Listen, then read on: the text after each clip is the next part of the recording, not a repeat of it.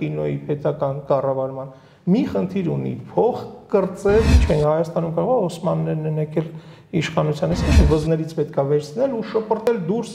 նույնիսկ հայ ֆիլմից։ Գնացել եք կան որ ինչ խայտարակն է։ Տգետի համար ամենամեծ թշնամին գիտելիքն է։ Դուրը ջարդեն, մտնեն թուրքերը եւ իրան բռնաբարեն, ինքը կասի կռելն է մեղավոր։ Ներով երջանկացել էին որ Հովանես Գալստյանի վրա քրեական գործկապ են։ Քանի հատ կիսատ ֆիլմ կա, որ չի վերջացել։ Գլուխը կախ, նա էլ հրռում է։